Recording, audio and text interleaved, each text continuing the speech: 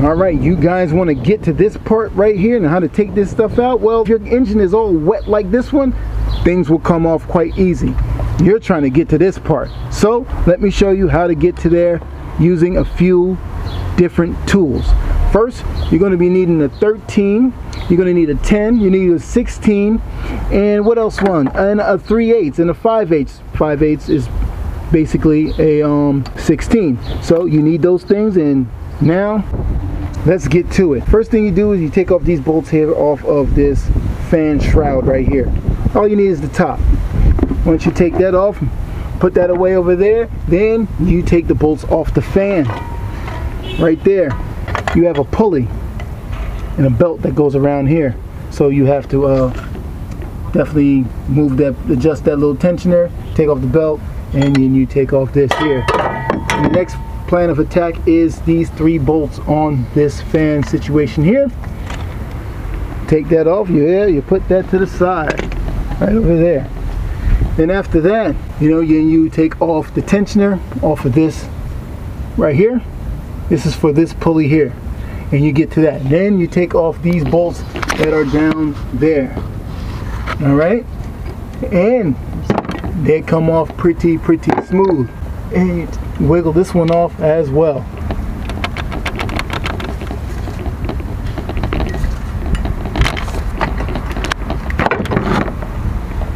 May I put a little mark on there somewhere?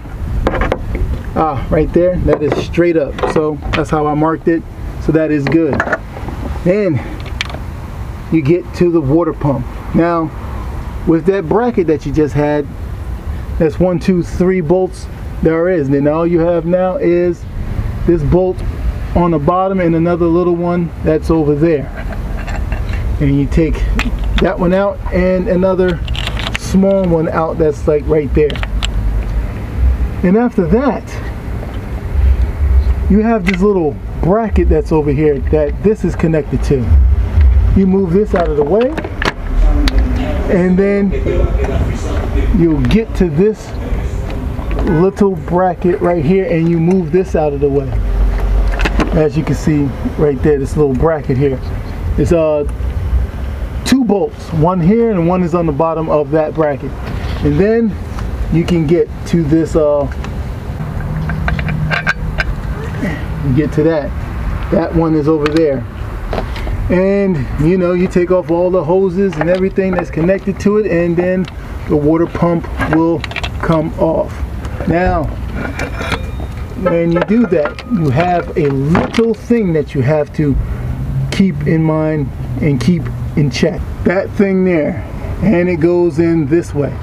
See all of that there? because this connects this to the water pump and blah blah blah and blah blah blah now this is the Opti Spark whatever you want to call this thing here. As you can see this thing already had some RTV around it so it can seal it and everything like that.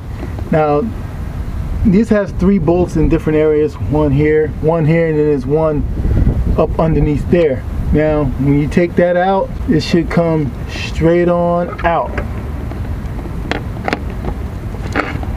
Now, as you can see right here, this part right here will line up right there. This is the one that you need to line up. Not that one, not that one, this one. The one with the little notch in it, that's how you line it up and everything like that. And you kind of just disconnect it and snake this thing through. All right, we've gotten that thing out now. Why did I determine that that was the problem? Well, it didn't have any spark. Um, I changed the spark plugs on this item and then I took one spark plug out, had the old one, and when it shut off, I took one of the plug wires out and it did not spark. Later on, turned it back on, then it sparked and the engine started with the spark plug arcing on this metal part here. So I was just like, you know what? It could be this um, coil. But then I turned the coil on when it was not running and the coil had power because I got shocked. So, and I checked the voltage later on and it was at 12.13 uh, um, volts. So the coil was giving, you know, what it needed to, to this uh, situation here and it just wasn't rocking. So that's when I said, you know what, it's time to um, take this thing out. Now, for you guys who are going through this situation, I know many of you guys, this is, especially you Chevy guys, y'all, y'all not new to this. Me, this is the first time I ever did this thing here, and it's um, a learning process. Uh, this is pretty cool. Now, we have to go and wait for the parts and put this on, and hopefully this helped anybody who were who is doing this or about to do this or if you're about to pick up one of them LT ones you know the situation you know the routine you know the drill. This will definitely help you out. Um, but if you guys have um, the more newer ones like in your Vettes or anything you ain't gonna have that goddamn fan mechanical fan situation. You're just to have a different setup that will be actually quicker to do versus doing it like this. So thank you guys for watching this episode of Build Something TV man. Hope you guys were enlightened. Man I want to thank my man Richard, right there, man. Thank you so much, man, for the donation, man. I really do appreciate it, brother. Oh my God, thank you for that, man. Well needed, well received, and and we're gonna use it for the channel, man. Thank you so much. And you are correct, man. 4.6 don't have enough oomph, man. Sometimes every I know a lot of guys are thinking about going, you know, LS or something like that, well, man, maybe pick up a LT1, man. This is, if that's the route you want to take, man. But, you know, for me, I'm just, dang, boy, I just got to work with this 4.6 and all these modular motors. And the only thing that we do wish about is to get a Coyote motor to get everything going.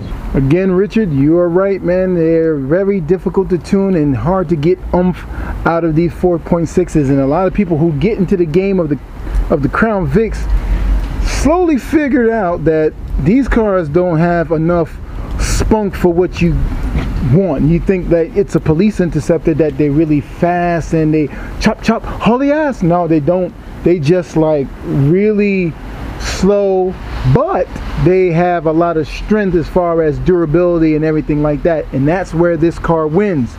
But other than that, man, when we buy these cars, we want to play around with them. It ain't nothing you can do for them, man. But I'm going to speak about three things that you could do to your Crown Victoria that's pretty cheap, that ain't going to be too much crazy mods to really get the best, best thing out of your Crown Victoria. And we'll speak about that on the next one.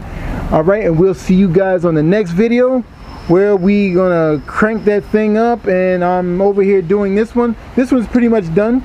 Um, give you a little brief rundown. Uh, we put a fan underneath there. That took me three days to do that because I couldn't figure out the length and everything. I had to go and cut in here more and um, we put some hood uh, situations right there to lift it up on some old JDM type stuff even though that Hot Rodders did that before the JDM, but JDM took that thing over. But let me get up out of this rain, man, and we'll see you guys on the next one, man. All right, later.